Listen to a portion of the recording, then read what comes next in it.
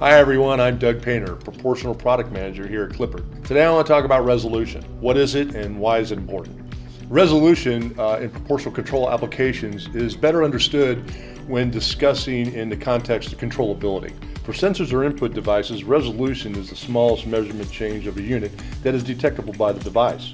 For example, 0 to 100 psi pressure transducer may detect pressure fluctuations of 0.1 psi within an electronic pressure controller. The sensor resolution would be 0.1% of full scale.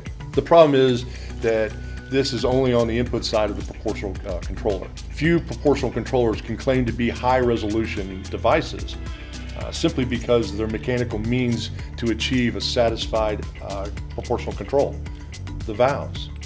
A proportional pressure controller defines resolution as the smallest value of command change that affects actual pressure response. It bases resolution on the greater of both input and output of the device. So if a proportional controller has a sensor of 0.1% of full-scale resolution, the unit may only be able to respond to 0.5% because the 100 psi proportional valves only have a resolution of 0.5% of full scale.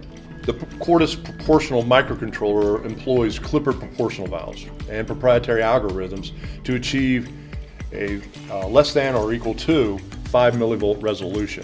For example, I take a Cordis proportional uh, pressure regulator and with a calibration of 0 to 10 volts is equal to 0 to 100 psi. With that type of calibration, I would be able to see and change pressures down to 0.05 psi uh, throughout the whole entire range. That is phenomenal resolution. The reason most proportional controllers in today's market do not publish resolution specification is because their internal proportional valves only achieve steps of 25 millivolts. And most digital valves, on-off valves, step in to 50 millivolt increments or even worse resolution.